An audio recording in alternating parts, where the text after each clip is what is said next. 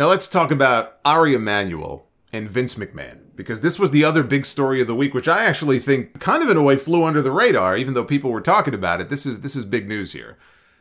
Endeavor and TKO CEO Ari Emanuel, he was a guest at Bloomberg's Screen Time conference this week, and he commented on WWE's media rights deals, including SmackDown moving back to USA Network and the ongoing negotiations for Monday Night Raw. He said, We got a 40% increase for SmackDown. We have Raw, which is the number one package available. There's three nights coming available to market, three big rights WWE Raw, UFC, and the NBA. We are involved in two of them. There's six buyers, plus I would say WWE Network, which is up in 2026. I think I'm saying that, maybe 25 or 26. So you cannot undervalue the WWE and UFC for the following reasons. One, we do not have a season. One of the biggest issues that will happen with SVODs and networks is churn. We're 52 weeks a year, right? And we're flexible. You want us Thursday night? You want us Tuesday night? I don't have any of those scheduling issues and that churn issue because we're the full year. It's so much different than any other sport because then people churn out. That's one of the issues with sports, not in a bad way. And then the package is over and then you leave. We do not have that. Our fans are loyal, they stick around, and they move. So he is confirming that they are very much open to Raw moving to a night other than Monday, which is something we heard a few weeks ago. Uh, it's not going to be Saturday or Sunday. I mean, if you look at the, the, the schedule, right, it's not going to be Saturday, it's not going to be Sunday. I doubt they would want it on a Friday. So that leaves Tuesday, Wednesday, or Thursday. Although Thursday, you still have NFL competition for part of the year if that matters to them. So Tuesday or Wednesday, I think, if not keeping it on Monday, would probably be the likeliest nights. I think we're looking at either Monday Night Raw, Tuesday Night Raw, or Wednesday Night Raw. And it also depends on where USA decides to put SmackDown. SmackDown is, is probably moving away from Fridays. I feel like for the fans, it would be better to put some separation between Raw and SmackDown during the week and not run them on back to back consecutive nights. But I could see the logistical advantage in doing so. If they run back to back nights, let's say in the same state, but different cities, or maybe in the same building. Maybe they run the same building back to back nights. That would make life a hell of a lot easier for the crew, right? And the people who work there. I get that. Where NXT lands, that would be secondary to Raw or SmackDown. I, I think the priority for them is okay, where's SmackDown going to be? Where's Raw going to be? And then they can kind of fit NXT in wherever they can fit them in. Uh, he did not mention NXT in his comments, but again, they're trying to get as much as they can for NXT, whether it be as a standalone property or part of a package deal with Raw. And it sounds like they're looking at these things separately. But whatever deal they can get, they're trying to maximize the amount of money they can get for NXT. You know, wrestling is unique and it does have a lot of value to these networks and, and these streamers because you have to imagine that a lot of these streamers, Netflix maybe, Amazon, you know, Apple, they're they're all in the conversation. They bring a lot of value. Uh, wrestling does not only because it's 52 weeks out of the year, but when you have something like these Hollywood strikes that are still going on. I mean, the writer strike is over, but things kind of fell apart this week with the actors, and so it, it almost feels. I think the studios walked away, so it almost feels like we're back to square one Maybe John Cena can stick around a little bit longer. But you see what's going on with these Hollywood strikes, and everything just grinds to a halt. And these networks have to find ways to fill airtime. Wrestling keeps going. Even during the early days of the COVID era, right? When everything else shut down, wrestling kept going. And that's where it really brings value to these partners. Now, he also said, I would say to you, there's plenty of interest in Raw right now. I know people are like, NBC is out of the mix, and that's why the stock went down. So let me stop there. Three weeks ago, that TKO Group Holdings stock, it was valued at $105 a share. That was on September 20th. The very next day, which was the day the deal was announced for SmackDown to move away from Fox and back to USA, the stock closed at $96 a share. As of closing on Friday, the stock is now down to $77 a share. So it has dropped and Emanuel explained why he believes the stock price has fallen. He says, I think there's three things that happen. Number one, the reason the stock is down is what the market thought that Raw was the best package. I thought a 40% increase, which was in line with expectation, was good. Number two, the PFL situation. Now, that is a reference to the Fight League, the fight league called, P- I think it's the Professional Fight League or Fighting League. They sold a minority stake to Saudi Arabia last month, worth $100 million. So I guess Wall Street didn't like that very much. So that's what he's referring to with the PFL deal. And number three, and most interestingly, he said Vince McMahon could also be partially responsible for the stock drop. He said, In our deal, Vince wanted to be able to put at any point in time his stock. Now, I thought that was a misprint when I first read. I wasn't sure what he meant by that, but a put option allows a stockholder to sell a specific amount of stock at a set price within a specified period of time. So he has the ability to sell his stock at any time if he chooses, unlike the other shareholders who were bound by this lockup period, right? All of his shares are listed as for sale. So he cited Vince himself as one reason for the stock decline. We already know in their financial filings that they've admitted that Vince's past issues are a potential liability for Endeavor and for TKO. And that was not the only Vince McMahon Endeavor news this week. This is actually, again, in my mind, a huge story because it affects the on air product that you and I see. Some people don't care about the stock stuff, some people don't care about the financial aspects of things. They just want a good show. Well, if that's what you care about, then listen up because this affects you, it affects me, and everybody else who watches Raw and SmackDown every single week.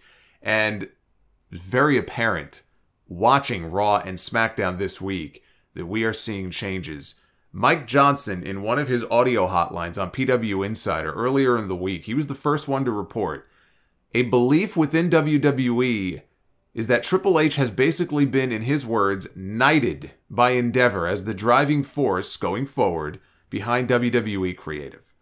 And that he will be the one driving 99.9% of the creative direction of the product from this point on, not Vince McMahon. Vince is still going to be around, until he sells his stock. So he can offer his suggestions if he wants to. Maybe at the dinner table, sitting down with uh, Triple H and Stephanie on one side and Vince and his uh, Lady of the Week on the other. He can make his suggestions if he so chooses. But Endeavor has put their full faith and trust now in Triple H to take the product in the direction that he sees fit. Justin Barrasso then had a report confirming this on the Sports Illustrated website a few days later. And this is what he had to say. When WWE merged with Endeavor last month, Paul Levesque did not receive a seat on the board of directors, a position that he held prior in WWE. Yet, that has not represented a loss of power. In fact, the opposite has occurred. If you've noticed a change in WWE programming, you are not alone. Levesque, who is WWE's head of creative, has overseen all of the creative on SmackDown and Raw since the merger, which is precisely what his job description entails. The difference is that Vince McMahon, who is synonymous with all things WWE, is no longer directly involved in dictating the weekly creative in the same manner that he once did. McMahon remained executive chairman in WWE, but he no longer possesses majority control of the company. That has allowed for change in the new regime, particularly in the creative department. Multiple contacts within WWE and UFC have confirmed Ari Emanuel, who wields power as the CEO of Endeavor, is behind the change.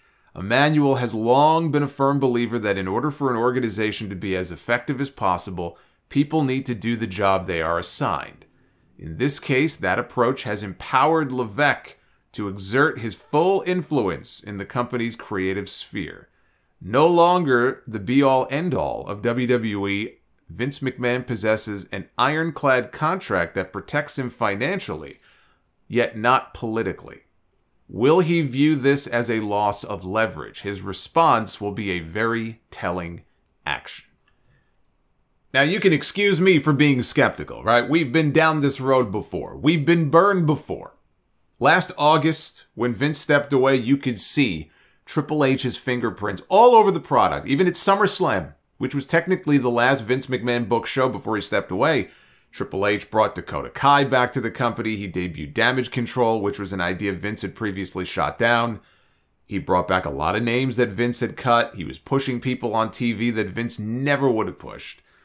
The shows just had a different vibe to them. It felt like they had hit the reset button in many ways. You know, Raw felt like it had some some real life to it for the first time in years. It wasn't as formulaic as it had been for so long. Fast forward not even a full six months, and Vince was sticking his nose in things again. He was back. Like the villain in a slasher movie when you think they're dead but they're only pretending to be dead. And then comes the horrible sequel. So long as he is the executive chairman and there is still breath in his body, there's always the chance that he finds his way back into the creative process, right? So like, like a rash on your skin that just won't go away. You put some ointment on it, it clears up, it goes away for a while, and then it comes right back. But for now, you watch those shows this week and you know damn well those were Triple H shows. Nobody can watch Raw and SmackDown this week and not know that Triple H is the one who influenced the direction of those shows and a lot of what we saw in those shows. And Triple H, look, he is not infallible.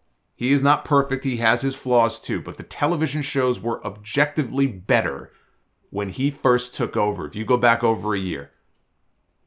So this is not just good news, this is great news. Vince McMahon isn't just a detriment to Endeavor, he's a detriment to the product. And the more we hear about stuff like this, the more it sounds to me like Vince McMahon got played. He made a power play and it may have blown up in his face. And I don't cry for him because he made a ton of money, right? Multiple billions of dollars, right? He, he can pat his tears and wipe his tears away with his billions, but he also craves power. I think with him, it's not just about money. I know it's not just about money with him. Money is a big part of it. He wants to make money, but it's not just about money. It's about power. It's about control. It's about being involved. He has exerted control over the creative direction of the product for decades. Thought he would still be able to do it. Ari Emanuel gets the company, the deal goes through, it's finalized, and he tells Vince, You can sit this one out. Vince was playing checkers, Ari Emanuel was playing chess. What a great story, too. If Vince McMahon, he forces his way back in to make this deal in the first place and ends up getting iced out of the company after all. I love it. I hope it plays out that way. They can make a TV series out of it. One higher up in WWE told Fightful, I think you can take a look at the show. Johnny Gargano is back after his return got nixed. Tegan Nox is on the show. Dragon Lee is all over the program. Carlito is finally factored in after being under contract for months. Cameron Grimes got back on TV. Bronson Reed is winning matches. Tag titles and IC titles are getting long matches to end Raw. I'm not going to say that all of those are direct results of the situation, but all of those parts moving at the same time is a little too much to be a coincidence for me. I mean, just look, just the fact that we got DIY back together. Xia Li popped up on Raw Monday night. When was the last time she was on a show other than main event? Not only that, look at Raw. Before the show was even over on Monday, they announced five matches for tomorrow night. Five! I sound like King Kong Bundy now. Five!